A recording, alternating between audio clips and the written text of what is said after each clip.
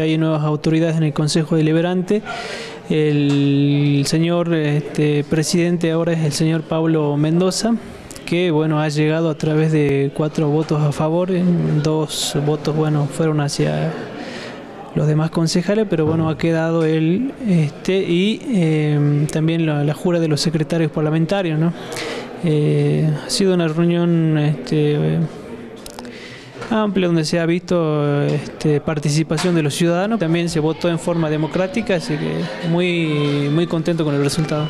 ¿Quiénes votaron en contra?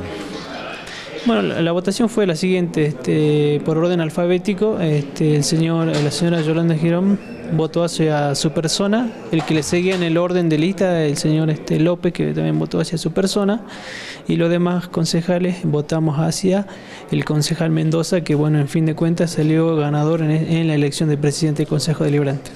¿Cuáles son las aspiraciones de poder llevar adelante bueno, algún otro tipo de gestión dentro de lo que es el, accionar que tiene el Consejo Deliberante? Sí, bueno, el, el Consejo Deliberante es un, es un, poder aparte, el poder legislativo, así que creemos que eh, de acá en adelante este, tenemos que sentarnos justamente después de estar en una mesa y replantearnos muchas cuestiones con respecto a las cosas que han venido sucediendo en Tilcara, con respecto al enero, las cosas que vienen a pasar, ya se acerca el, el, eh, justamente este gran festival y queremos este, llevar la tranquilidad a la gente del pueblo que queremos sacar todo adelante y justamente nos vamos a sentar en una mesa con todos los concejales y ver, y con la gente del pueblo también por supuesto, con ver cómo sacamos adelante respecto a las, a las cosas que han venido pasando. ¿no?